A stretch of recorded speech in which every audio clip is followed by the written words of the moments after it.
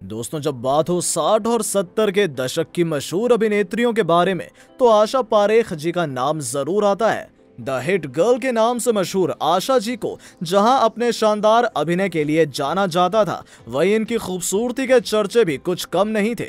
बहुत छोटी सी उम्र में ही इन्होंने बॉलीवुड इंडस्ट्री में कदम रखा था। भले ही बहुत समय पहले इन्होंने बॉलीवुड को अलविदा कह दिया हो, लेकिन आज भी ये किसी परिचय की मोहताज नहीं है। इनके फैंस इन्हें आज भी बहुत प्यार करते हैं। दोस्तों, आज हम बात करेंगे 60 और 70 के दशक की सुप्रसिद्ध अभिनेत्री आशा पारेख जी की कुल संपत्ति के बारे में। और आपको बताएँगे, इनके घर और गाड़ियों के बारे में। तो बने रहिए वीडियो में हमारे साथ और वीडियो को अंत तक पूरा ज़रूर देखिएगा। फ़िल्म माँ से अपने करियर की शुरुआत करने वाली आशा अभिनेत्री के साथ साथ एक कुशल डांसर और सोशल वर्कर भी हैं।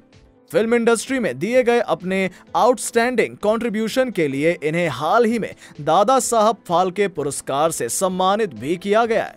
बात करें इनके घर के बारे में तो मुंबई के जूहू में इनका आलिशान घर है, जिसकी कीमत करोड़ों में बताई जाती है। घर की खूबसूरती देखते ही बनती है। बताया जाता है कि इसके अलावा इनका एक फार्म हाउस भी है।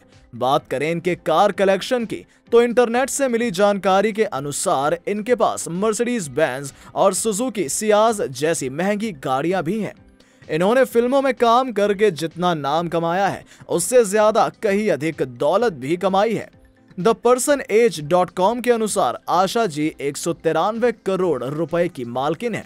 आशा जी अब अपनी एक डांस अकेडमी चलाती हैं इनका एक मुंबई के सांता क्रूज में एक हॉस्पिटल भी है, जिसका नाम बीसीजे हॉस्पिटल आशा पारेख है।